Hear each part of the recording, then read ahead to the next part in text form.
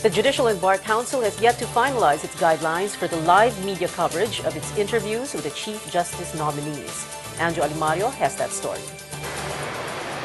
Members of the JBC met in an executive session today to draft the guidelines for the live media coverage of the public interviews of the Chief Justice nominees. JBC Academy member Jose Mejia says there is an informal agreement not to press networks to cover all nominees. Mejia agrees that it will be an operational nightmare to compel all media networks to cover all the interviews of the nominees. Ang bottom line is this uh, orderliness lang. I mean, if it will take uh, several cameras, we, we have not really uh, made that definitive kung isa lang. Senator Francis Escudero is happy with their initial draft, saying the guidelines will result to an open yet orderly proceedings.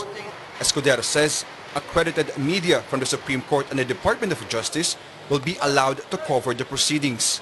Both Escudero and Representative Neil Tupas Jr. are both in favor of allowing media to cover the actual voting for the JBC shortlist. Because it's transparent. Uh, some, there, there are clamors nga, there are clamors na bakit JBC? Eh, yung JBC parang it's ano eh, 'di ba? It's not transparent. So to make it transparent, kailangan the entire proceedings including the voting. Including the voting. So we'll push for that.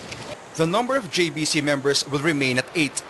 Those who have questions about it, Escudero says, should go to the Supreme Court.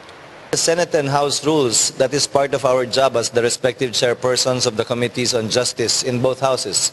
Until and unless enjoined and restrained, um, baka naman tawagi abandonment yung aming ginagawa. Um, sa akin, ano man ang maging desisyon ng korte tungkol dito, tatanggapin ko, at least menos trabaho pa sa parte ko kung sakasakali. Meantime, Justice Secretary De Lima, another JBC ex-officio member and nominee for the CJ post, inhibited from the discussion when it concerned the Chief Magistrate position.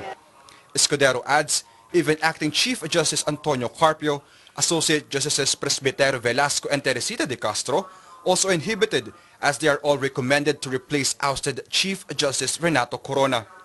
He says that as of today, the number of nominees for the CJ post increased to 65, where there are two applicants, 13 have already accepted their nominations and 11 have declined. Anjali Mario, Solar News.